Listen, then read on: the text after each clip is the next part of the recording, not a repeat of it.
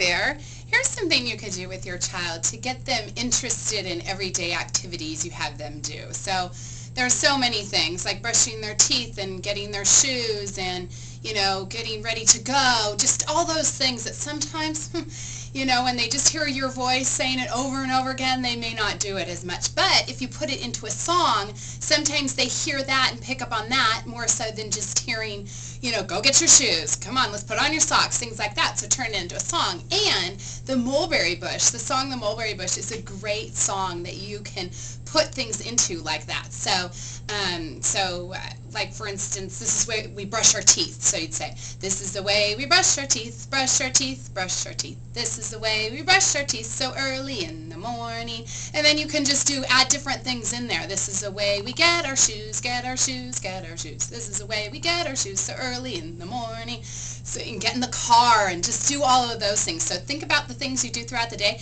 and put it into a song. And it's okay if it doesn't sound right or if it's not even that tune. You can just do any tune you want and they're going to hear that a lot more than they're probably going to hear you saying over and over again, get your shoes, get your clothes, let's go, here we go. You know, put in a song and, song and have fun with it. So I hope you enjoy this idea.